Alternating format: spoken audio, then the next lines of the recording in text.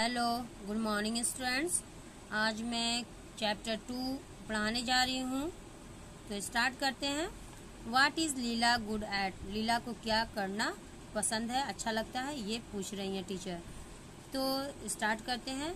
इस चैप्टर में सबसे पहले टीचर क्लासरूम में जाती हैं और सारे बच्चों से ये पूछती हैं कि, बच्चों, ये बताओ कि तुमको क्या क्या करना पसंद है? Now class, the teacher said, each of you tell me what you are good at. It can be anything such as something you do at home or in school. यानी ये बच्चों पहले मुझे ये बताओ कि तुमको क्या करना पसंद है तुम लोग क्या कर सकते हो घर पे या फिर स्कूल में सारे बच्चे से बारी बारी से ये टीचर पूछती हैं लीला ब्लैंक लीला प्लग झपकाते हुए कहती हैं what could she say she was not good at anything Leela plug झपकाते हुए क्या कहती है कि वह क्या कर सकती है? वह कोई भी काम में अच्छी नहीं थी। रीता सैड रीता ने कहा I can swim very fast मैं तैरना, मैं बहुत तेज़ी से तैर सकती हूँ। किसने कहा? तो रीता ने कहा Leela had never been in swimming pool और अ पॉन्ड लीला कभी भी स्विमिंग पूल और तालाब में नहीं गई थी।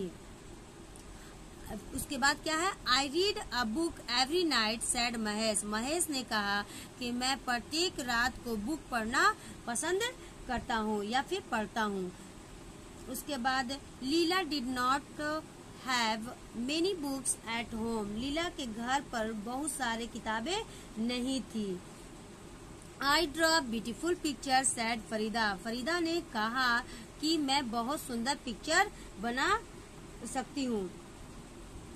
Leela mother did not have the money to buy her paints और कैरियंस लीला की माँ के पास पैसे नहीं थे कि पेंट्स या फिर करियंस खरीद सके। तो मैं यहाँ तक पैराग्राफ कंप्लीट कर चुकी।